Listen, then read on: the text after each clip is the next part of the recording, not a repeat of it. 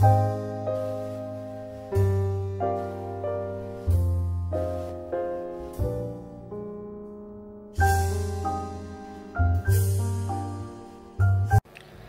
Guys मेरा नाम है रौनक एंड आप देख रहे हो टिकट ट्रिक तो गाइस आज हम आपको एक ऐसी एप्लीकेशन के बारे में बताएँगे जिस पे आप एक साथ front camera and back camera दोनों से ही एक साथ फ़ोटो खींच सकते हो।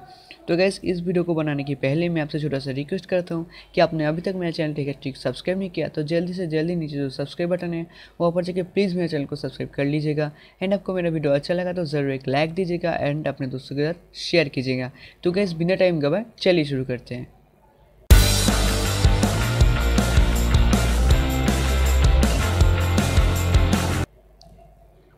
तो गाइज़ सबसे पहले तो आपको प्ले स्टोर ओपन करना पड़ेगा एंड इसके बाद यहाँ पर ये जो है फ्रंट एंड बैक कैमरा इसको आपको इंस्टॉल करना पड़ेगा।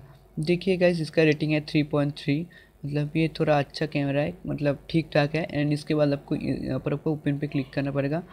तो ओपन पे क्लिक करने के बाद गाइज़ आपको तो ये मेरा पहले से ओपन था, इसीलिए ऐसा दिखा है। तो इसको ओपन पहले जब आप ओपन करोगे तो ओपन करने के बाद आपको टैप टू स्टार्ट पर आपको क्लिक करना पड़ेगा। एंड इसके बाद गए आपको पोर्ट्रेट पे आपको क्लिक करना पड़ेगा या लैंडस्केप भी, भी आप क्लिक कर सकते हो। तो यहाँ पर एड्स आ रहा है इस एड्स को काट देते हैं। इसके बाद देखिए गैस मेरा जो बैक कैमरा है वो चालू हो गया। तो मेरा बैक कैमरा भी चालू हो गया तो मैं अभी क्लिक कर लेता हूँ। बैक कैमरा का मतलब बैक कैमरा से मेरा पिक्चर क्लिक हो गया। एंड इसके बाद देखिए गैस मेरा फ्रंट कैमरा जो है वो वो वो भी ओपन हो गया।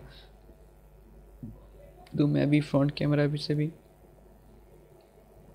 पिक्चर ले लेता हूँ। देखिए गैस मेरे यहाँ पर front camera and back camera दोनों से ही पिक्चर क्लिक हो गया। एंड मैं यहाँ पर इफ़ेक्ट भी सेव मतलब इफ़ेक्ट भी लगा सकता हूँ। जैसे यहाँ पर बहुत सारे इफ़ेक्ट है इफ़ेक्ट भी सिलेक्ट कर सकता हूँ। एंड इसके बाद आपको सेव पे क्लिक करना पड़ेगा। तो ये इमेज है इमेज सेव सक्सेसफुली मतलब इमेज सक्सेसफुली सेव हो गया।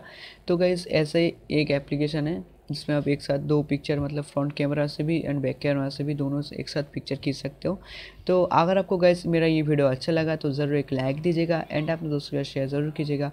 तो बस आज के लिए तो इतना ही and take care bye bye